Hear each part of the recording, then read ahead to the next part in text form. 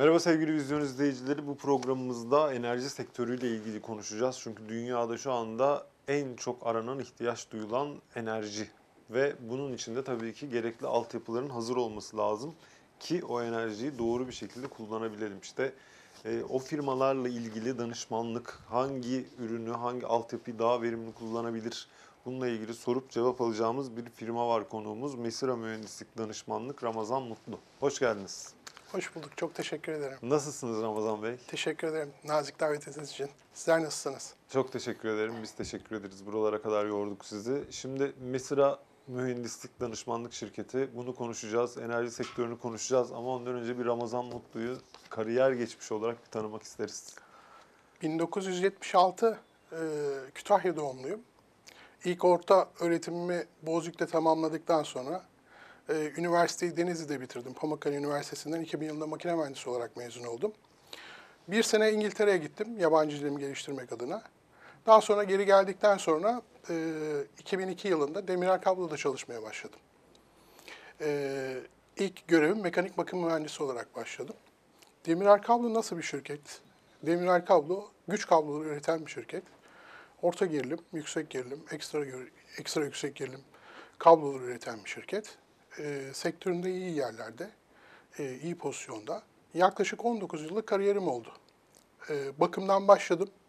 Üretim, e, fabrika müdürlüğü, e, üst düzey yöneticilik. E, bu, bu görevlerde bulunduktan sonra geçtiğimiz sene ayrılma kararı aldım.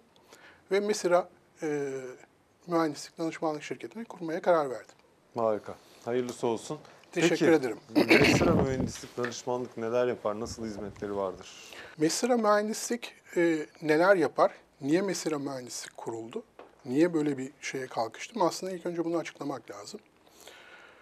E, sizin de bahsettiğiniz gibi e, dünyada enerji çok çok önemli noktalarda. Yenilenebilir enerji kaynakları üzerinde çok fazla durulmakta. Artık AC kablolar değil, DC kablolar da üretilmesi zorlaşmış. E, DC kablolar da üretilmeye başlandı. E, kullanım alanları çok fazla. E, ve e, kablo sektöründe aslında insan yetiştirmek çok da kolay bir şey değil. Mesira Mühendisliği'nin kuruluş amacı da bu. E, biz geçmişte edindiğimiz tecrübeleri, 19 yıllık tecrübeyi denediğimiz, ürettiğimiz, kablo nasıl üretilir, nasıl üretilmesi gerekiyor, neleri yaparsan e, daha az maliyetli, daha kaliteli ürünler üre- üre- üretebilirsin. Bunların hepsini e, üzerinde çalıştık. Bu tecrübelerimiz var. Ve bu tecrübelerimizi de biz diğer kablo üreticilerine faydalanmaları için sunuyoruz. Onlara yardım etmek, onların zaman kayıplarını azaltmak, maliyetlerini minimize etmek adına biz bu şirketimizi kurduk. Ee, şu anda hali hazırda hem bu faaliyetlerimiz var hem de bu faaliyetlerin yanı sıra e, yabancı şirketler e, dünyada kendi adından sözünü söz ettiren Kemal Laboratuvarları, e, Cesi Laboratuvarları ve Mailifer diye bir firmamız var. Bu firmalarla kontratlarımız var. Bu firmaların da işlerini yapıyoruz şu anda.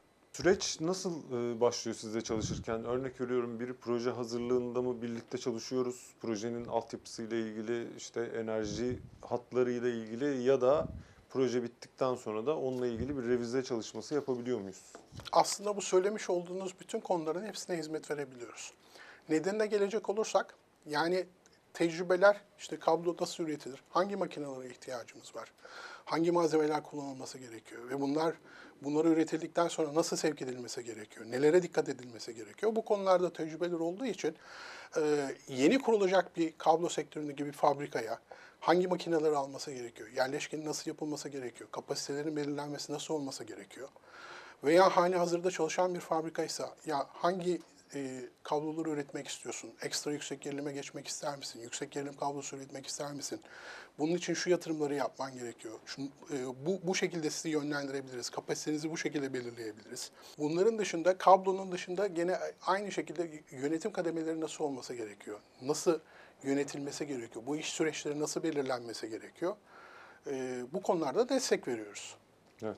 Peki e, şimdi elektrikli arabalarla ilgili çok çalışmalar var dünyada da ülkemizde de E, büyük bir e, değişim yaşayacak o noktada elektrikli araçlar yollara çıktığında ve e, sizce dünyadaki bu yapılar yani benzin istasyonlarının yerine tabii ki o zamanla şarj eden istasyonlar olması gerekiyor. Ülkemizde ya da globalde baktığımızda dünyada sizce böyle bir altyapı var mı, hazır mı, yapılıyor mu, çalışmalar var mı, takip ediyor musunuz? Evet bu çalışmaları takip ediyoruz, yakından takip ediyoruz. Aslında şöyle özetlemek lazım. Avrupa buna bir adım bizden daha önce, belki de beş adım daha önce de diyebiliriz. Ee, yaklaşık e, bundan 15 sene öncesinde Viyana'da e, en büyük meydanlarında elektrikli arabaları getirip onları test ettirebilen, test ettiren bir ülkeydi. Yani Avrupa bizden daha hazır bir durumda. Şu anda Türkiye'de e, elektrikli arabalar yok mu? Var. Fakat e, Türkiye'deki en büyük sorun e, bizim bu konuya çok daha fazla önem vermemiz gerekirken yeteri kadar önem vermiyoruz. Niye önem vermiyoruz? İnsanlarda e, şarj istasyonlarının önlerinde arabalarını park ediyorlar. E, insanlar geliyor elektrikli arabalarını şarj etmeleri gerekiyor. Fakat bakıyor ki önünde bir tane araba var, araba park etmiş, arabasını şarj edemiyor. Şarj istasyonu var, şarj istasyonunun bakımı yapılmamış. Yeteri kadar şarj istasyonu var mı? Yeteri kadar şarj istasyonu da yok. Öncelikle bu konuların halledilmesi gerekiyor. Ama ben inanıyorum ki bu, bu, bu, bu konularda da gelişmeler olacak. Peki Türkiye'deki enerji sektöründeki gelişmeler şu an e, globale adapte olabiliyor muyuz? Rekabet nasıl diğer ülkelerle? Ee, daha önceden aslında çok böyle inceleme fırsatım, fırsatım olmamıştı. Ama Mesire'yi kurduktan sonra sektörde neler oluyor, neler bitiyor, ee, Türkiye'nin pozisyonu nedir, ne kadar ihracatımız var konularına baktığımda hakikaten hatır sayılır bir ihracatımız var. Yaklaşık 2 milyar dolarlık Türkiye'nin yıllık ihracatı var. Burada genelde alçak gerilim e, kısmı daha büyük bir payı alıyor. Orta gerilim ve yüksek gerilimde yıllık yaklaşık 150 milyon dolar civarında bir ihracat var. Hatırı sayılır kablo fabrikaları var.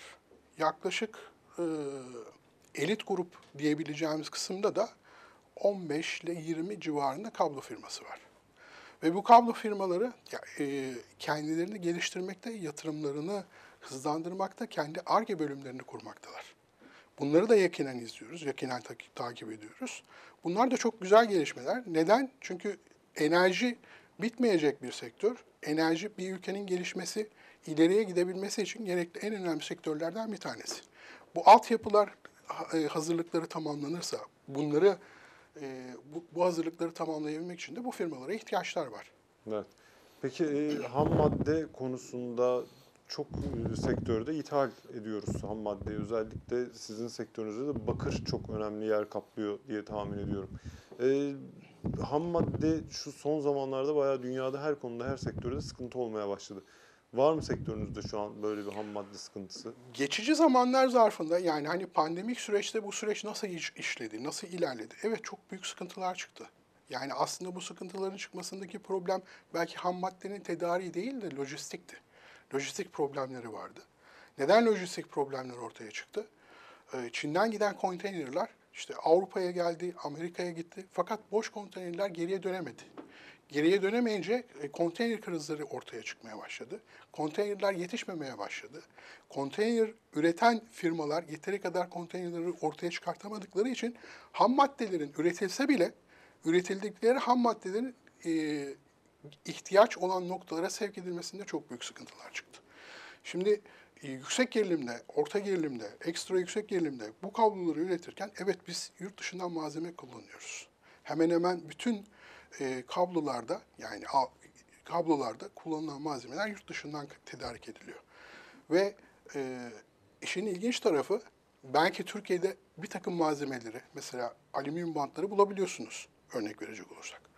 Ama e, alüminyum bantı Türkiye'deki Türk firmalar, Türk firmalara, Türk e, kablo üreticisi firmalara vermekten ziyade e, Avrupa'daki firmalara vermeyi tercih ettiler. Bunun sonucunda da bu sefer de Türkiye'deki kablo üreticileri ham madde tedariğinde sıkıntılar yaşamaya başladılar. Buna benzer e, çeşitli sıkıntılar var. Ama bu sıkıntılar yani e, aklını kullanan ve stratejisini ön planda tutan, kendini daha ileri noktalara götürmek isteyen firmalar tedbirlerini daha önceden alarak gerekli stoklarını yerlerinde tuttular. Bu konuda da danışmanlık alabiliyor muyuz sizden? Örnek veriyorum e, ham madde bulurken, üretirken e, üreteceğimiz tonaja göre doğru malzemeyi seçerken hangi ülkeden alacağımız ya da sevkiyat süreçleri bunların hepsini sizden alabiliyor muyuz? Biz şu şekilde hizmet veriyoruz. Kablonun hangi katmanında hangi malzemeye ihtiyacınız var? Hangi e, malzemeyi nereden en uygun bir şekilde fakat kaliteden de ödün vermeden bulabilmenizi e, sağlıyoruz. Bu bilgileri veriyoruz. Bu bilgiler ışığında da siz gerekli organizasyonunuzu yapabiliyorsunuz. Evet. Çünkü gerçekten e, dediğim gibi birçok firma belki bu konuda e, kaçırıyordur gelişmeleri ya da dünyanın farklı yerlerinde olan o fiyat değişimlerinden haberi de olmayabilir. Değil mi? Böyle durumlar mutlaka karşınıza çıkıyor diye Evet evet. Yani firmalar yani hangi tür ihtiyaçları varsa bir kablo firmasının neye ihtiyacı varsa biz bu konuda onlara destek olmaya çalışıyoruz. Destek veriyoruz. Çünkü bu bilgi bu bilgi birikimi e, kablonun e, A'dan Z'ye üretim aşamasından sevkiyat aşamasına kadar geçen bütün konularda tecrübelerimizi e, çalışacağımız, çalıştığımız firmalarla paylaşmak istiyoruz. Evet. Peki e, şimdi 19 yıllık bir tecrübe gerçekten ciddi bir tecrübe ve son e, Mesira danışmanlıkta artık e, kendi adınıza yol aldığınız bir firma.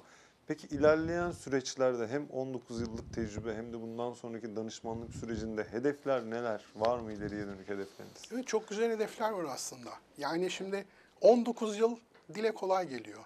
Yani e, bu zaman süreci nasıl geçti, neler öğrendik, neler keşfettik, e, hangi tecrübeleri elde ettik. E, bunların hepsi aslında çok güzel şeylerdi. Ben yani 19 yıl çok güzel, çok dolu dolu geçti benim için. Şimdi bu kadar bilgi birikimi olduğu zaman elbette ki öğreneceğimiz çok şeyler var. Daha öğrenmemiz gereken e, çok daha fazla şeyler var. Ben bunun farkındayım. Yani kendimizi asla ya biz bu işin kompedanı olduk, uzmanı olduk, şöyleyiz, böyleyiz bunu demiyoruz. Ama e, yeni gelen bir jenerasyon var. Yeni gelen insanlar var. Yeni gelen, yeni işe girmiş, e, üretim yapmaya çalışan firmalar var. Bu sektöre girmeye girmek isteyen insanlar var. Biz bu insanlara yardımcı olmak istiyoruz, destek olmak istiyoruz. Bu destekler nasıl olacak? Ben eğitim vermeyi planlıyorum. Ücretsiz eğitimler vermeyi planlıyorum. Ve insanlara yani çok önemli veya belki de seneler içerisinde öğrendikleri, elde ettikleri tecrübeleri e, onlara ücretsiz bir şekilde paylaşmak istiyorum. Niye bunu yapmak istiyoruz? Sonuçta biz Türk Türkiye'de yaşıyoruz, Türk devletiyiz. Eğer ki biz bu işi ne kadar düzgün yaparsak Avrupa'da adımızdan o kadar fazla söz ettiririz. O kadar fazla ihracat yaparız. O kadar fazla girdi kaynaklarımız artar. Daha iyi konumlara geliriz. Yani bu e, birazcık da belki de milliyetçilik duygusu ağır basıyor. Yani bir Türk olarak ya bu işleri biz de yapıyoruz. Bakın e, Türk olarak biz bu kabloları üretiyoruz ve siz bu kabloları kullanıyorsunuz. Yani bunu diyebilmek, bunu söyleyebilmek. Evet. Sıfırdan yani en büyük hedefim ne diye soracak olursanız eğer ki herhangi bir şekilde bir firma yani yatırım yapmak isteyen bir firma olursa A'dan Z'ye A'dan Z'ye bütün şeylerini planlamak isterim. Hangi makineleri kullanması gerekiyor, hangi e, ne kadarlık bir alana kurması gerekiyor, kapasitesinin ne olması gerekiyor, bütün dizaynların ne olması gerekiyor, bu Kimlerle konularda hepsinde çalışması çalışması gerekiyor? gerekiyor. Bu konularda hepsinde destek olmak istiyorum. Niye? Yani Türkiye'de bir firma, yani evet kablo firması çok fazla var fakat e, ekstra yüksek gerilimde çok fazla yok. Bu firmaların çoğalması gerekiyor. Çünkü artık enerji, yani sadece orta gerilim kablolarıyla bu enerjiyi taşıyamıyorsunuz. Ekstra yüksek gerilim, yüksek gerilim kablolarıyla bu enerjiyi taşı- taşımanız gerekiyor. Ve bu, bu işi de yapabilmek için de kablo firmalarına ihtiyacı var. Evet. Çünkü günden güne e, kullandığımız elektrikli alet sayısı artıyor evlerde. Yani örnek vermek gerekirse bundan belki 50 yıl önce evde elektrikli olabilecek işte belki sadece ampul yanıyordu atıyorum. Ama e, günümüzde cep telefonu şarjları, televizyonlar, bilgisayarlar, fırınlar, buzdolapları yani birçok elektrik var. Tabii bu da e, yansıyor değil mi? Üretimde de aynı şekilde. Üretim de e, gelişti. Daha fazla üretim, nüfus artıyor. Bunların hepsi bununla orantılı olarak sürekli dediğiniz gibi revizyon yapılması, bakımının aksatılmaması gerekli. Ne önerirsiniz mesela e, firmalara özellikle bakım tarafında? Ben bu konuyu çok e, anlatmanızı isterim çünkü Bakım çok önemli. Eğer ileride daha büyük masraflar açılmaması için periyodik bakımlar yapılması lazım diye düşünüyorum. Sizin sektörünüzde de bu böyle midir? Enerji sektöründe de e, bakımların aslında şöyle özetlemek lazım. Şöyle şöyle gireyim konuya. Artık evet teknoloji ilerliyor. Bakım çok önemli.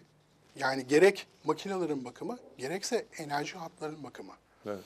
Ama sektörde ilerlediği için, teknoloji ilerlediği için kabloların e, hani bir makine gibi düşünemezsiniz. Yani içerisinde iletkeni vardır, bakır olur, alüminyum olur, e, XLP'si vardır. Ya bu işte bozulacak öyle bir şey yok. Yani hani bir ömür verirsiniz 25 yıl bu kabloyu kullanabilirsiniz dersiniz. Ama bir problem elbette ki meydana gelebilir. Siz bugün bir kablo ürettiğinizde hemen hemen bütün kablo fabrikalarında üretilen her uzunluk test edilir. O testlerden geçmiş olabilir. Zaman içerisinde o kabloya enerji yüklemesinden dolayı kablonun e, kendi ömründe azalmalar meydana geliyor olabilir. Bunu göremezsiniz. Bunu nasıl görebilirsiniz? Kablonun yüzeyindeki o sıcaklık yüksel- yükselmeye başlar. Bunun için de e, DTS denilen sistemler vardır. Kablonun yüzey sıcaklığını ölçer. Artık teknoloji ilerlediği için bütün dağıtım şirketleri, iletim şirketleri kablolarında fiber ka- fiberler kullanıyorlar. Çelik tüp içerisinde fiberler kullanıyorlar. Bunlar kablonun sıcaklığını ölçüyor. Enerjili haldeyken o sıcaklıkta herhangi bir şekilde değişme meydana gelir ise size alarm veriyor. Diyor ki ya burada kablonun işte atıyorum 100. metresinde sıcaklık normalde olması gerekenden 20 derece daha yukarıda. Aslında bu işte bu e, şu anki yükte aynı yükte daha önceden bu sıcaklıkta değildi. Bir problem var. Ve siz e, o enerji nakil hattında uzunluk atıyorum 30 kilometre ise 30 kilometrenin e, 12. kilometresinde öyle bir probleminiz varsa gidiyorsunuz direkt o noktaya gidip onu, o noktanın müdahalesini yapabiliyorsunuz. Sistemler yani hani e, o problemleri daha önceden tespit edebilme noktasına gitti.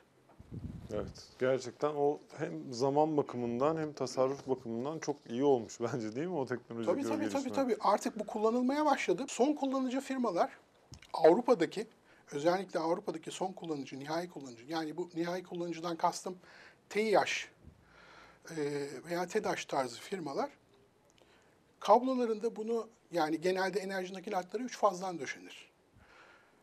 Ya bütün fazlara koyuyorlar. Eğer ki e, alım gücünüz yüksekse bütün kablolarda bunu istiyor. Eğer ki alım gücünüz dü- düşükse en fazla akımı çekecek olan kabloyu seçiyor. Kablolardan bir tanesine bunu veriyor. Ben eğer bu kablonun üzerinde herhangi bir sıcaklık değişimi varsa buna göre diğer kablolara da bakarım diyor.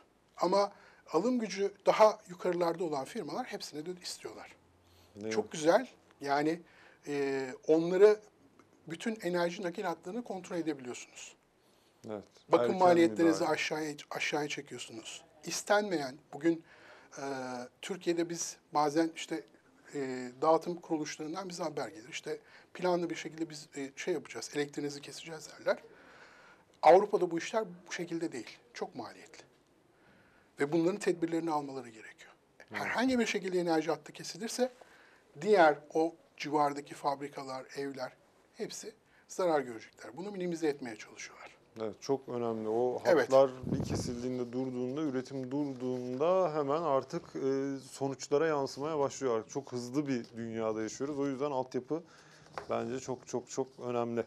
Peki Ramazan Bey var mı eklemek istediğiniz, son olarak söylemek istediğiniz? Özellikle belki genç mühendisler için bir şey söylemek istersiniz. Ee, Genç mühendisler için ben şunu önereceğim. Ne yapıyorsanız, hangi işle meşgulseniz, onun en ince detaylarına kadar öğrenmeye çalışın. Eğer ki öğrenirseniz kendinizi geliştirirsiniz. Kendinizi geliştirdiğinizde çevrenizdeki insanları geliştirirsiniz. Çevrenizdeki insanları geliştirdiğinizde ülkenizi geliştirirsiniz. O da eğer dolaşır size De- yansır. Aynen öyle. Eğer detaylara hakim değilseniz, bilmiyorsanız o işi yönetemezsiniz. Yönetici olamazsınız. Bu konulara dikkat ederlerse Başarılı olurlar. başarılı olurlar. Çok teşekkür ederim. ben Sağ çok teşekkür ederim. Sağ olun. Sağ olun. Evet sevgili vizyon izleyicileri gerçekten artık teknoloji gördüğünüz gibi altyapı teknolojiye yetişmekte zorluk çekiyor. Altyapılara bir an önce müdahale etmek lazım ki Orada da geriye dönük olarak e, en ufak bir kesinti, durma gibi durumlar çok daha maliyetli oluyor. O yüzden işin başında danışman bir firmayla bu sektörde çalışmak çok önemli, çok değerli. Kendinize çok iyi bakın. Tekrar görüşmek dileğiyle.